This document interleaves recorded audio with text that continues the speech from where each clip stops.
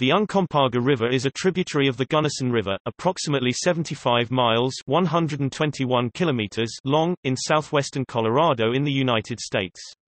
Lake Como at 12,215 feet 3,723 meters in northern San Juan County, in the Uncompahgre National Forest in the northwestern San Juan Mountains is the headwaters of the river. It flows northwest past Ouray, Ridgway, Montrose, and Olathe and joins the Gunnison at Confluence Park in Delta. The river forms Poughkeepsie Gulch and the Uncompahgre Gorge. The major tributaries are all creeks draining the northwest San Juan Mountains. There are two dams on the Uncompahgre River, a small diversion dam in the Uncompahgre Gorge, and Ridgway Dam below the town of Ridgway which forms Ridgway Reservoir. The river is used for irrigation in the Uncompahgre Valley.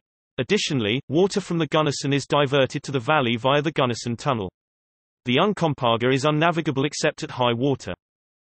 The name Uncompahgre listen, comes from the Ute word Uncompahgre, which loosely translates to dirty water, red lake, or red water spring, and is likely a reference to the many hot springs in the vicinity of Ouray.